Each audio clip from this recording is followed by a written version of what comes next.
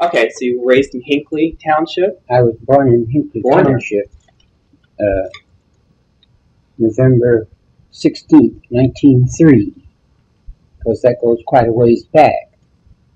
And uh, a lot happened because times were so different then than they are now. And uh, they stayed that way. They, the times just seemed to stay that way so long in my life Mhm. before I found I had to make more or less of change in my life and the way I live How large of a family did you come from? since I left Hinckley.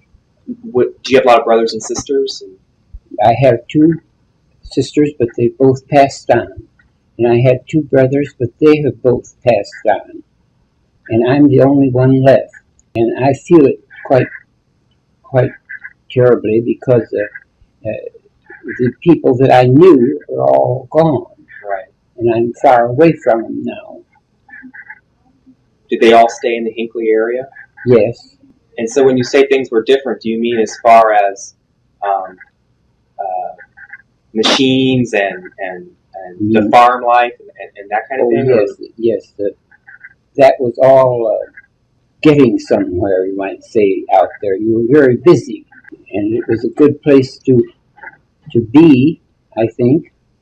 But then I went on to Cleveland. I didn't stay in Hinckley. At what age did you move to Cleveland? Well, I wanted to go to the Cleveland Institute of Music. I thought I wanted to, but when I when I got there and and uh, saw what the tuition was, was going to be and everything, and I didn't have any money, and uh, I couldn't go to to it. I think I en- enrolled. I I think I stayed about a month or two with it, and after I had been there that long, I found out I didn't care for the for the organization anymore. And then I was alone, making my living with my music, playing in bands and playing for lots of uh, wealthy people up on Cleveland Heights for social things. Playing alone, I used to play alone quite a bit. You played piano? hmm And it, it seems like that my life was so busy that I didn't have any time much to think about being myself and being happy. It seemed to not be the way it was because I, I had to work so hard to keep myself above board. Right. Well, maybe you want to ask me another question. Um, were you raised on a farm then? Was your family farmed? Yeah, I was born and raised on a 60 acre farm in Hinckley Township. And uh, I was the fifth child. And uh, while I was going to high school, my one brother was still at home, but all the rest had left. My, one- my, my one sister got married, and the other one went to Kent State to study. She wanted to be a teacher, and she did. And we were that type of people. And how, how did you meet Richard? Think. How did you meet Richard Grayshaw? Richard Grayshaw. Richard Brayshaw. Yeah. Well, I, I, I only know of him of late. Right. How did you meet him? I, I don't know if I can tell you that. Okay. I, I was just curious. I guess I can ask him, but I, I didn't know how you knew him. I, I should remember. Probably through friends or something. Beg your pardon? Maybe through friends you knew. Yeah, yeah. He, he seemed to need my friendship, I think. I think probably he was maybe lonely. Hmm. We were friends together. Still are, for all I know. Mhm. He's, he's very interested in, in, in you, what's happening to you. things come about and change our lives. You'll find at your tender age that you haven't heard anything yet as far as uh, what your future will be. You don't know what that will be. If I had had parents or had somebody to talk to, to give me uh, a good footing in ideas, you know, and, and uh, be able to communicate, but I never had that and I needed it. I was a person that needed a little bit of help. It was pretty hard going all alone all the time. Once in a while, I needed to needed help, and I didn't get it. What was the reason for that? Why didn't you get any help? Well, uh, music is a very takes an awful lot out of you. And if you don't put in it what you have to put in it to bring it out, you might just as well forget it. And uh, I was very thin. I used to, I was quite thin person. I, I, I didn't weigh a whole lot. And uh, sometimes music would get to be a little bit too much for me. And of course, the income from it, depending on it entirely, that meant that you didn't have the same income every week or Right. every month. You were, you were uh, sort of a ship without a rudder. Yeah. The mercy of, of, of how many engagements you would have, and how much they're willing to pay, and that kind of. but I kept pretty happy through it. Did you feel you were different from other people? Is that part of it? Do you feel you were different What? than, others? Is that part of your, the, the problem you had? You felt different than the other difference in my net personality. Right. Yes, I think that entered into it because there wasn't anybody to talk to, and there were no psychiatrists yet, and uh, you you had to just do the best you could. You might have been better off if there weren't any psychiatrists. What? You might have been better off if there weren't psychiatrists. They may have messed you up more than you know just doing it on your own. So did you did you so how did you how did you sort all of this out? How did you how did you make yourself comfortable with your life?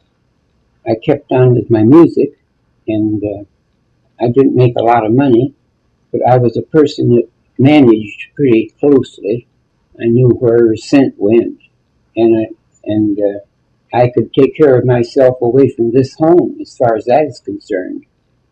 But I would be alone still, and it's it sort of predominated upon me that I had better depend on some others for help for a change. I came here to this home of late, thought that this would be a good place for me to be, but you don't need anybody here exactly that brings out happiness because the other people are in the same boat that you are in. Well, you you live to pay for it. You have to pay for it to stay here. Get to the point where you make the best of it do the best you can. But I get lonesome and being alone all the time. There's a fellow here that I know that's friendly enough, and that has helped some. But he's had some troubles himself. People don't come to this home free of trouble. They, they, they come to this home to alleviate trouble. Do you have any special friends in Cleveland when you lived there? Well, I used to have different orchestra fellows, different ones that I played with that were friends, but not mostly in the sense of business, not so much in in the in the sense of uh, really knowing them Are they really knowing me. No, I've been quite a loner. I really have. Of course, you know that I'm gay. You know that, and that makes a tremendous lot of difference. Does that cause problems for you? Has it had been a problem? Off and on, yes. And back there, nobody to talk to, nobody to listen to you. It wasn't accepted. Did you have problems with your family because of that? Did your family have problems with that? No, my family, I was away from my family. Away. See, I was the fifth child, and I came along last, and I was a loner. My, my dad was up in years. I stayed on the farm for a while with him after my mother died, and then my, my, my two sisters were both married. They married, and Were you always alone, or did you have anybody with you? no, I, I was always alone most of the time. You never had a lover of any sort, Another, or spouse, or a lover. another person? Right. No, I can't say as I did. If I did, I inhibited it. You And I- did you prefer to be alone? Do you want to be alone? No, but uh, Just worked out the social, the social uh, thing that you need to know people intimately wasn't there. You mean in yourself or in society? There wasn't any way. Society, It wasn't a way to meet people. that's right. It, it wasn't as outspoken as it was today. Today it's outspoken. Nobody thinks anything about it. Especially of late, too. It's been over the radio so much Yes. and over the television. Even in Cleveland, there was no Um, No television yet, but I mean, there was no way to meet people in Cleveland. only through the orchestra work. The men that I played with. That's that that was how I went, and I stayed there in Cleveland, and roomed and boarded with an aunt, an elderly aunt, and she took me in, and uh, I studied at the Cleveland Institute of Music to begin with, but I didn't like it. I didn't like the method there, and I, I didn't stay with it. I think I paid the ninety dollars tuition to to get in, and then I left it because it wasn't. It was too pedagogical and too European to suit me. I couldn't quite cope with that because I was an American, you know, and I needed what Americans do. But I did an awful lot of playing in dance bands at different times. That's what kept me going. Where were you during the uh, the wars, the First World War, for instance? Were you in Cleveland? I can't even tell you that. You didn't serve in any in any No. wars. No, I, I was always a little too young or too old to get into the service. So you stayed in Cleveland for how long? How long were you in Cleveland? It's awful hard to say. Or where did you go after that? After Cleveland? I think I was, I had had a studio and I was teaching piano. In Cleveland? Yeah, yeah. I, I had I had a studio for a while and I taught. Did you have a lot of students? Well, quite a few. To make it worthwhile. No, I I have lived alone most of my life. I've been married and I've been alone. It, it has its drawbacks, especially as you grow older. You must have nephews, nieces, you know, other relatives. Yeah, there's other relatives, but they didn't contribute anything to my music. They're just, uh, I didn't go to visit them, or they didn't come to visit me. Yeah, there were relatives, but I was the fifth child in the family, and uh, by the time I came along, there wasn't much left, because my mother had passed away, and she was a nurse, a trained nurse. I missed her terribly when she died, and well, my mother was the the go-getter of our family. My father was just a farmer on a 60-acre farm there where we lived in Granger Township. We lived in Hinckley, and then we moved in, into Granger Township, which is just south. My dad farmed there for several years in Granger Township, and I used to go home to see him. My mother passed away, and I used to go home to see him once in a while he had it pretty hard. And he lived to be an old man. He just died just practically recently. He lived to be a real old man and very healthy right up to the last. So you went where after Cleveland then? Did you move back to Hinckley then after Cleveland? Well, no, when I when I got up to Cleveland, I, I stayed there. I stayed there with an aunt. Right, but then after that you went to where? I don't know if I can just tell you when I left there. Did you come back to Hinckley though and start your nursery then? I don't think so. No, someplace in between. I might have for a little while, but not to not to speak of. No, as time went on, I I seemed to be able to make my way with my friends. Did you used to go to Florida in the winter? No, I never been to Florida. Where did, did you stay at Hinckley all year round? Practically, all during that formative period. Yes, I stayed on the farm for till I was about till I was about uh, 16, 17 years old. I stayed stayed on the farm with my dad. My mother had gone, of course; she was dead. Now was your was your nursery on the property that your father had owned? Uh, no, that all came much later. That much that came much later. So you purchased some ground. Yes, I enjoyed that very much.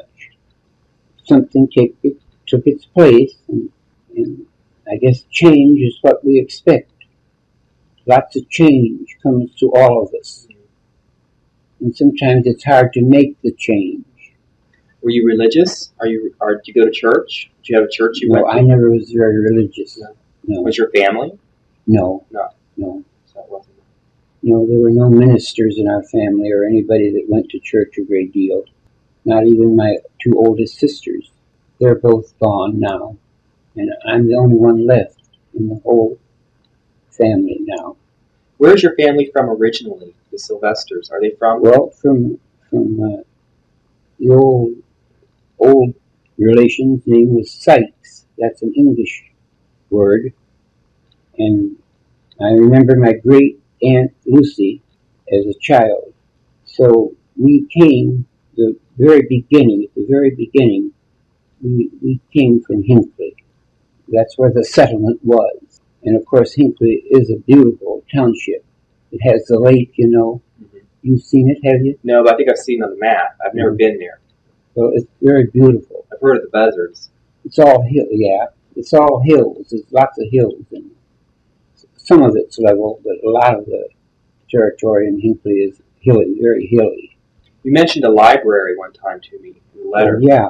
Well, the Sylvester Library was given by my great uncle Frank Sylvester um, years ago. That was given way back, I think, the year of 1903, the year I was born. That library was built. Now is that in Hinckley? Medina. It's in Medina. Medina. And he was, my Uncle Frank was very much a go-getter. He was very, quite wealthy, and he did deal, dealt in the thoroughbred cattle. Oh. He made an awful lot of money, and he gave Medina their library. Have you ever seen it? No. It's quite pretty. Made of red brick, and it, it, it's right on the corner of, of the town square. It's right on one of the corners, and they keep it landscaped beautifully.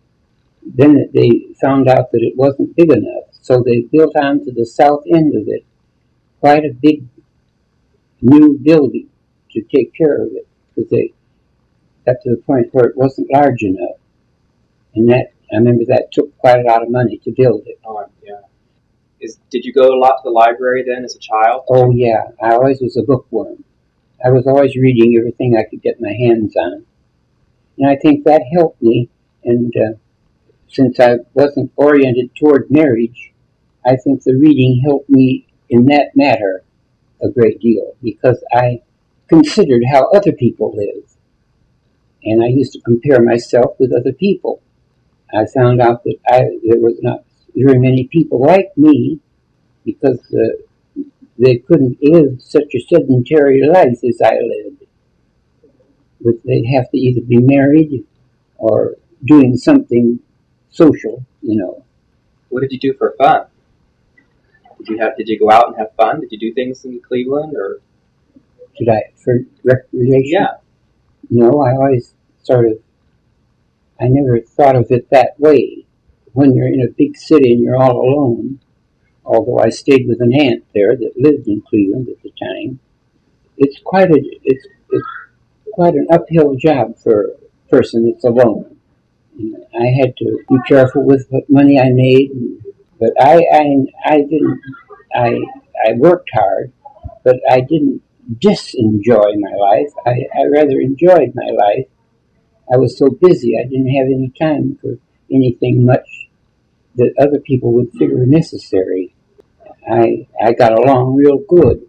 It was hard. It was an uphill grind, but it was hard, and I made it. I made it. I made it all right. And I got so after a while, the work that I did and all I saved what money I was making, I'm glad I did because it helps out here.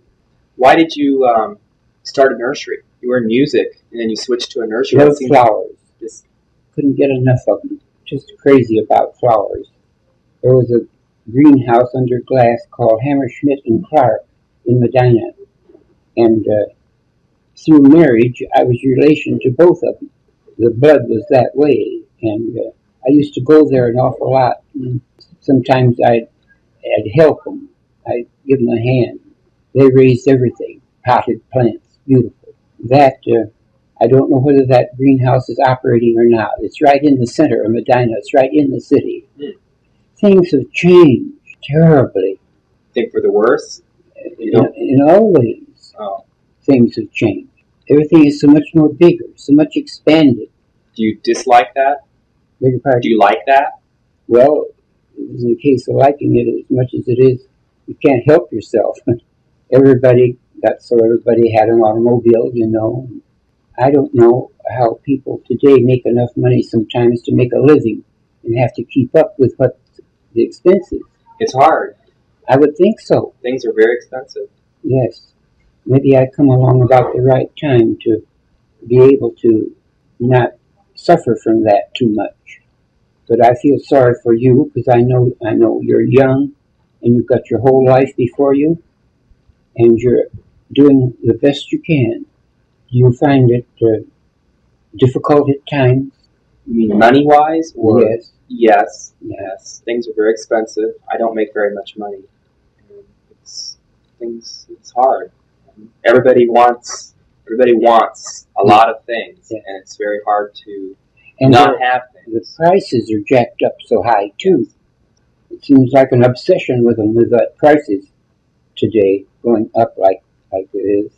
Well, I I wondered about you, and I'm only too glad to have you come because I didn't have a chance to ever before to talk with anybody like this. And I've left out, of course, a lot that, that I've done. Can't cover it all. Is there anything else real important that you think we should you know, talk about? Well, there probably is, but it just doesn't come to mind. Did you Did you ever feel guilty about the way you felt about pe- about about other people? Did I people? ever? Feel guilty? Any No. bad feelings about the way you were? uh, um, early in the early adolescent days, yes, when I was an adolescent, because uh, I I didn't uh, I didn't date like the other boys did. I didn't feel like dating girls. Girls were all right. I got along with them okay. I never cared to date one of them, so I was free from that. Did that trouble you? Did that trouble you? Bother you that you didn't want to date girls? Did that? No, no, he never entered into it. He never, he never cared.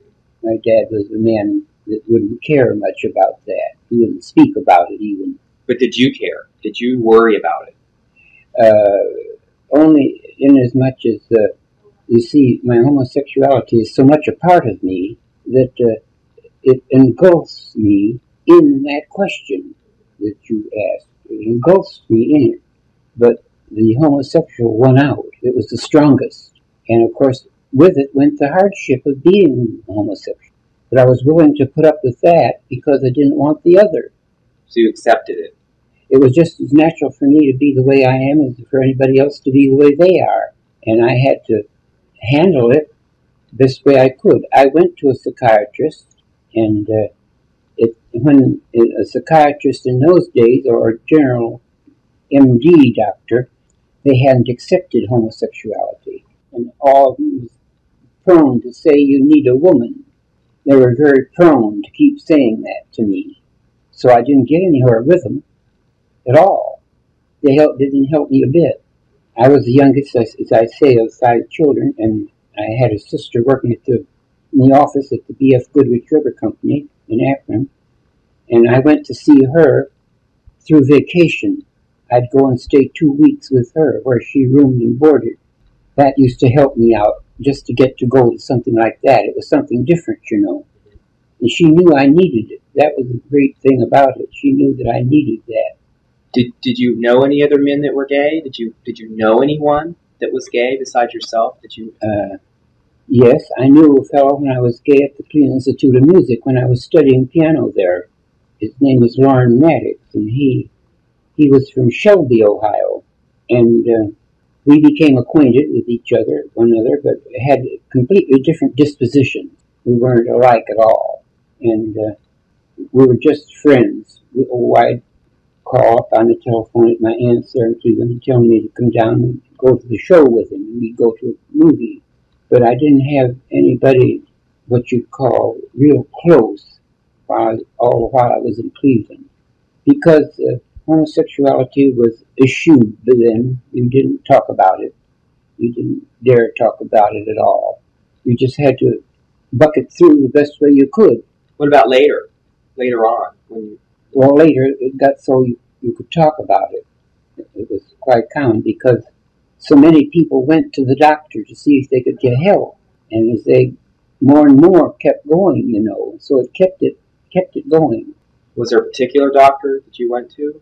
Well, I I had a a psychiatrist in Cleveland, and then I had what you might call our family doctor, and uh, I never even had a never even brought the subject up with one of them, but they invited me out for a Sunday dinner, and I used to have a Model T Ford car, and I drove out to their house and ate dinner with them on Sunday, and he looked across the table at me and he says, "When are you going to get married?" Well, of course, it showed that he had no idea at all about my trouble, and uh, I just laughed it off. He said, "A nice young man like you," he says, "you ought to be married by now." That's the way they used to talk in those days. Did you know people then later on? Did you meet other gay people Uh, later years? kind of few and far between. I didn't go out for it, and uh, I didn't go to any of the gay bars. I think I went to the gay bar once in Cleveland. There's quite a bit of that today, isn't there? Yes, very It's much. very popular. Very much. Yeah. I think is a big difference, and that that's very much the center of, of life Yes, now. yes. Whereas it doesn't sound like that that existed much uh, when you were younger. Entirely different. Well, thank heaven it is, because when it's out in the open, that's better, because everybody knows where they stand. Do you, uh, you're still in school, are you? Yes, What college? Ohio State. Ohio State. You live in Columbus. Yes, You like it there? it's okay. I'm from a very small town, and Or you're, you're outside of the town? well, I was raised in a small Oh, town. I was born in a small town. Now I live in Columbus. It's very large, very large. Yeah. Um, as big as Cleveland yeah, now, and uh, tremendous the way it's I- grown. I miss the farm. I miss fresh air and, and the animals and plants and things like that. It's hard. It's different. I live in a very small place, uh, lots of houses, lots of people, very busy street, noisy place. So I don't like it. I want to get back out to the country. Are you alone? Uh, I have a roommate. Well, is there? Do you have enough in common to, to get along? Yes, we get along very well. We like plants. Like plants a lot. We have a dog.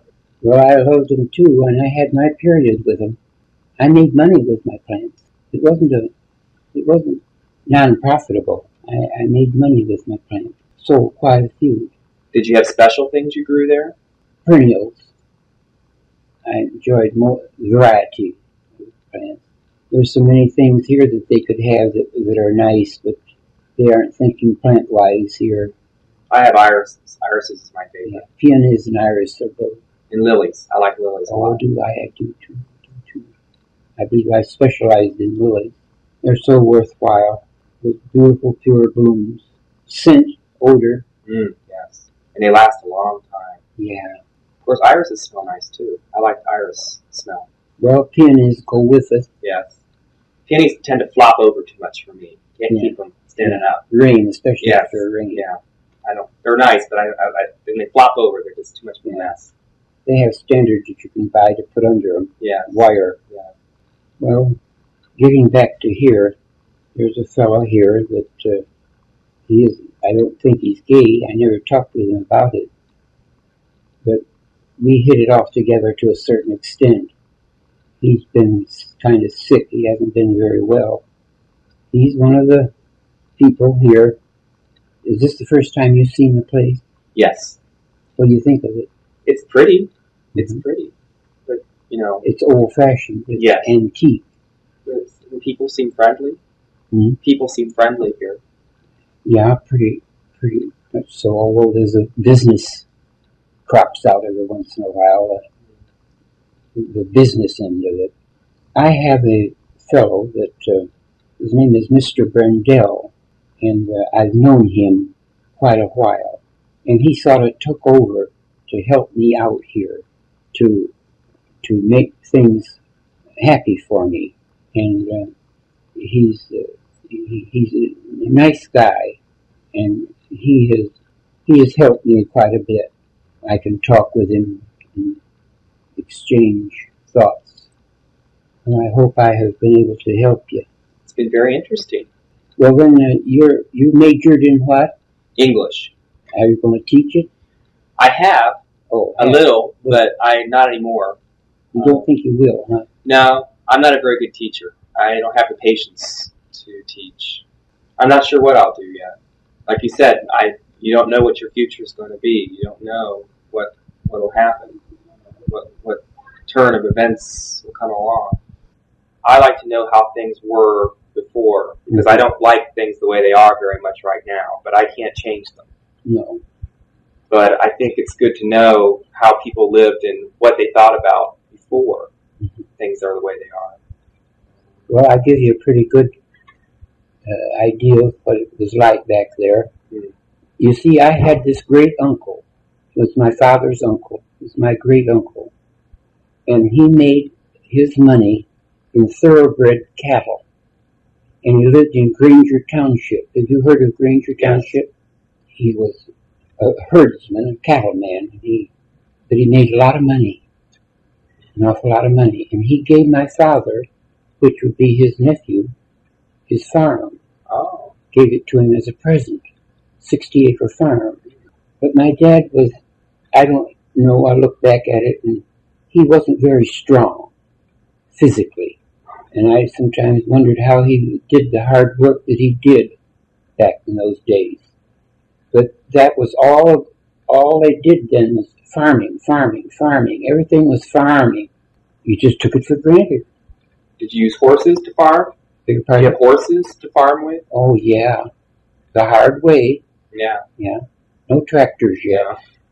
My, he used to work hard. He wasn't a real strong man either. Then my mother come along and she was a trained nurse, and she went out on nursing cases. Oh, most every woman that had a baby had to have Lizzie Sylvester come to to free her from it. Mm. And my mother made quite a bit of money that way. But most of it, it seems, was when by the time I came along, my mother wasn't long to live. So the rest had more than I did, because I came along so late, the fifth child. And I used to just break my heart to see her go to nurse, you know, and not stay home. Right. I think that had a lot to do with my emotional makeup. It wasn't natural for me to, I loved her, and it wasn't natural for me to have her go away so much and work for other people. But uh, she said that my father didn't make enough money on the farm to support us five kids, so she had to go out to do it.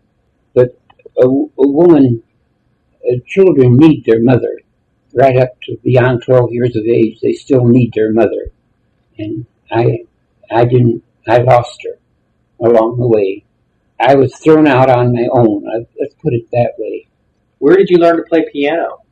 How did you learn to play? Well, we had an old upright piano in the home where we lived, and uh, there that was the time when player pianos came in, and were all everybody wanted a player piano. Well, I'd watch the keys go down by running it slow, pedaling it slow. Of course, you had disrupt the tone, the key tone, but I'd watch the keys go down, and then I'd copy that oh, you see any old way in a storm, I guess. And I'd, I'd write down the combinations that I'd see, and then I'd put my hand on the piano and make the same sound that I got from the piano. And I, I, I didn't have a teacher. you taught yourself. I, I, I had what you might have called a teacher, but she wasn't a real teacher. Once, when I was oh nine, ten, eleven, twelve years old, I learned to play the piano through watching the player piano. I learned a lot about it that way that you couldn't have gotten unless a, a, a, a teacher would have written a chord book so you could get your chords out of the book. Well, that might interest you too. I saw a great need for that. And lo and behold, I took it upon myself to contact the Zimmerman Company in Cincinnati and um, ask them if they would print these manuscripts that I had. I had each key on the piano, major, minor, augmented, seventh, and diminished, to have each one of those published. And they did it for me. They published it for me. And then I was able to, it, it was in a green book. I wish I had a cover here. I carelessly lost those, what I had left. But it was in a green cover with my picture on it. Oh, And uh, it told all about how to play the left hand and the right hand in connection too. But I I wasn't too particular, and I lost it. I lost the copies of that. Did you sell those to people? Did you? Yes, I did. A dollar and a half a book, and then I taught. I taught taught what I sold, and then I had. Funny part of it is, uh, the people that got the copies of the book were they were precious to them, and uh, the first thing I knew, there was people calling for my books to get all the books, you know, they could. I, I, I had quite a few made up, had had quite a few made up from Zimmerman in Columbus. Uh, You've heard of Zimmerman, maybe? I think I have. They're book publishers. Well, I got along real good, good, good with it. It sold real good. It sold real good. Why did you stop teaching music? Why did I stop with music? I taught a lot. I had a lot of experience with it. And it sort of died out naturally with me. Too much responsibility with it. And so, where I, I had saved my money, and I had some money to lay back on. Of course, being alone, I had no way of spending my money like lots of people do. They get rid of their money as they make it.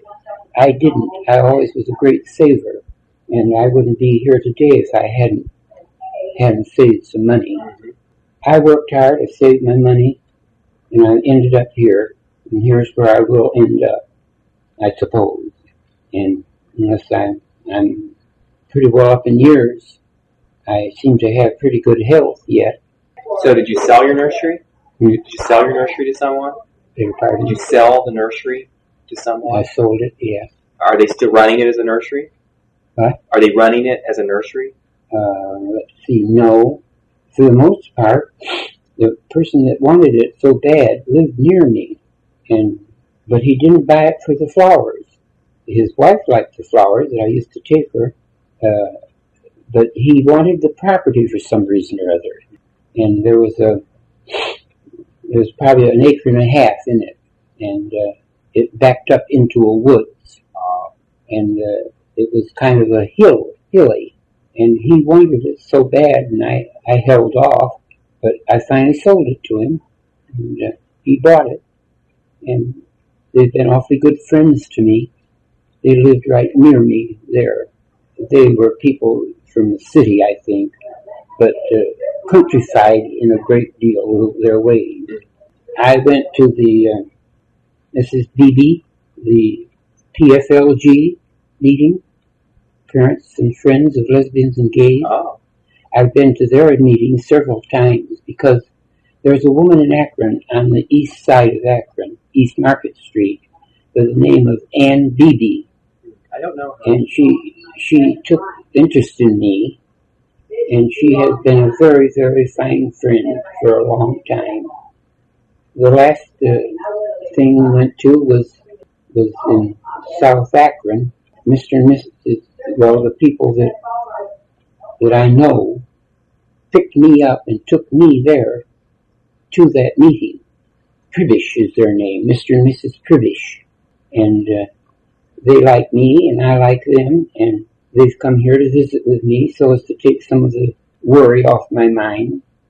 We sit in those chairs and talk, and it's a good thing I have them because uh, they speak of the same things we have in common.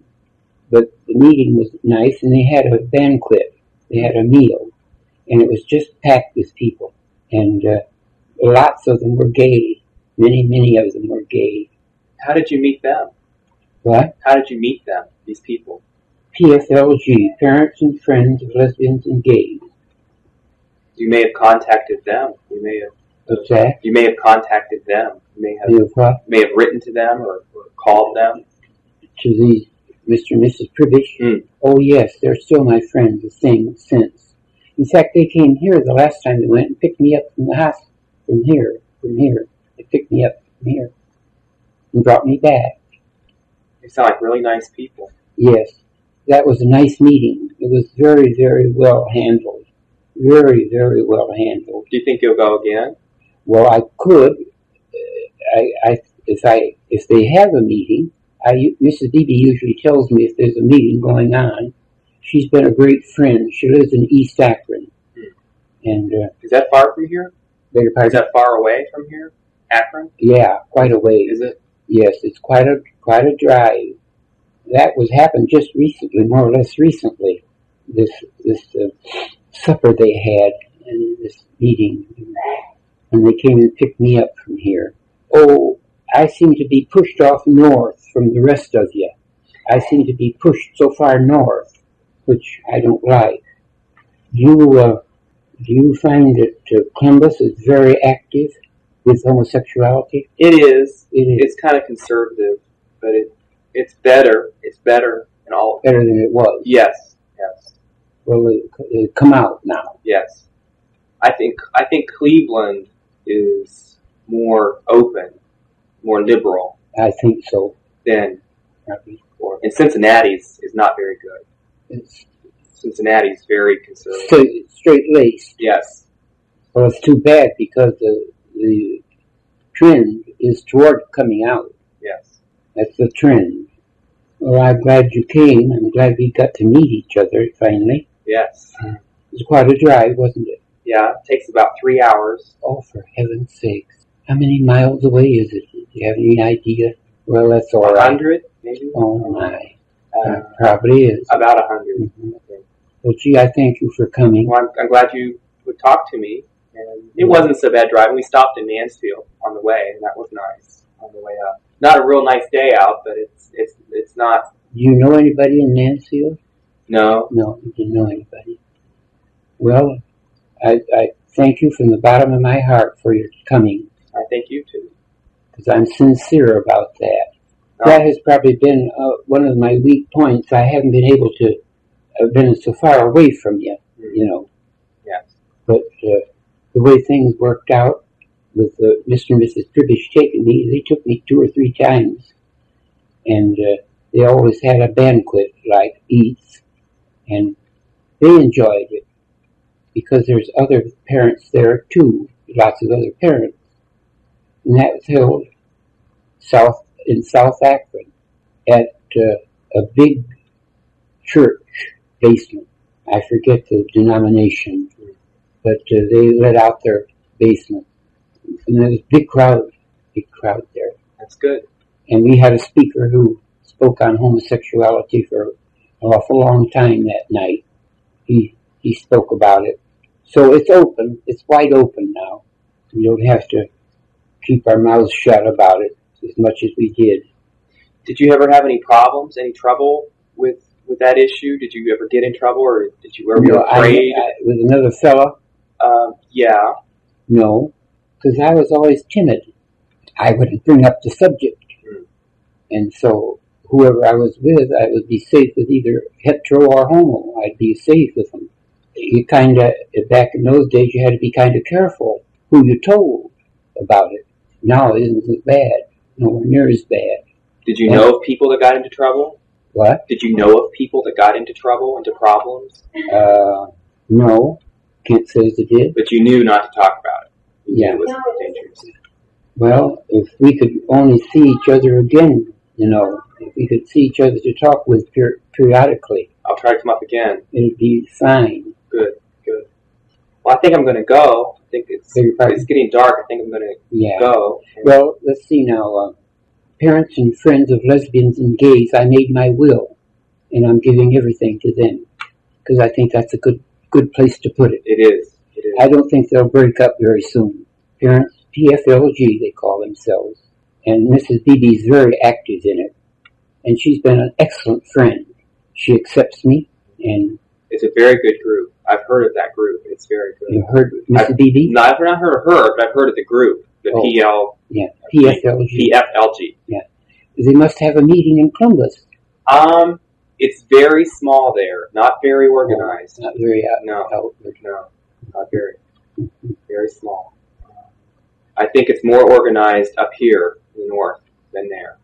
So it's better here that way. Mhm. Well, they teach you that that's good. That's a good thing to have. Yes, it is. Gives people a chance to get together and discuss. Well, you'll have a long drive home. Yeah, You won't probably stop on the way. uh, probably someplace. Oh. Stop along